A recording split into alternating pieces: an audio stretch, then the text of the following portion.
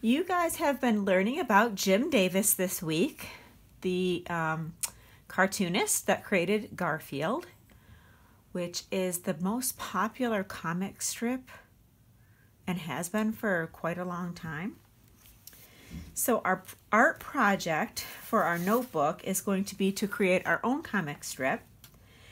And these, um, this sheet of paper is the PDF that I attached in the resource section.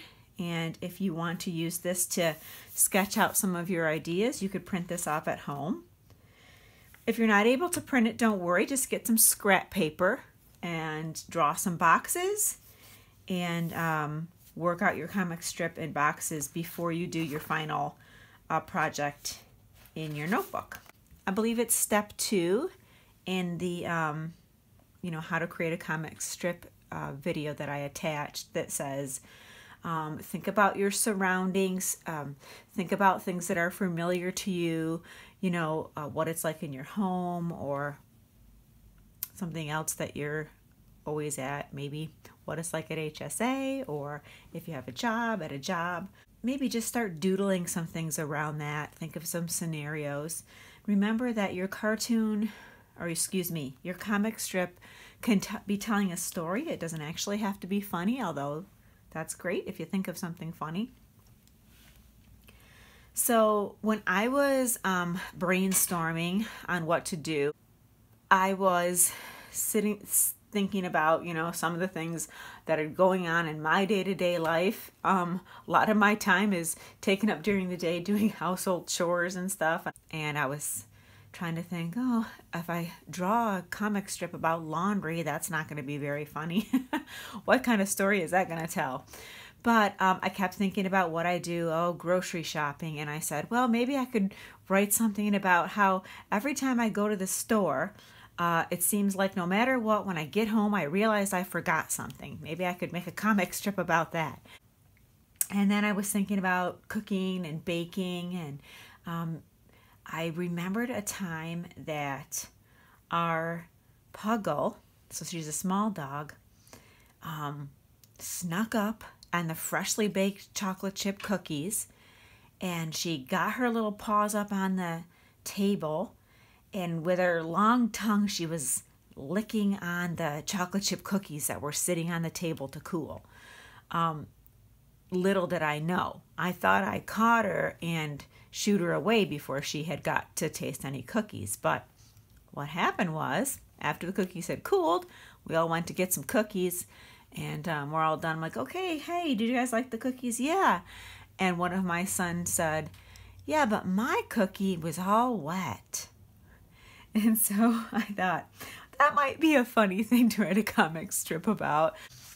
I might just try to go in, in with just three squares. We'll see. You're not limited to four. You can do as many as you need to. Um, I'm going to work out that a little bit and see if I can turn that into a comic strip, that story. And um, I'm going to pause this, work on it. I'll show you what I made.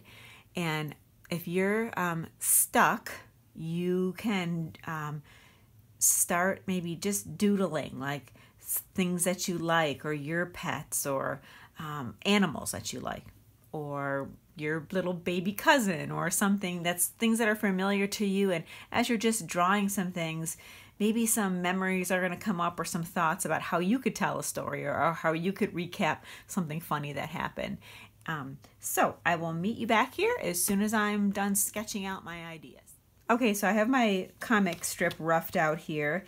Um, I got to thinking about how I could tell this little story with the least amount of panels. Um, I didn't want to keep going on and on with lots of boxes. And my first thought was to draw myself baking the cookies in the kitchen. And then I thought, well, I don't need that to tell the story.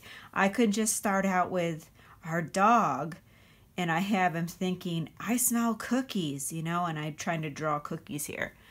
And then the next square, um, she's reaching up on the table and she's Mmm.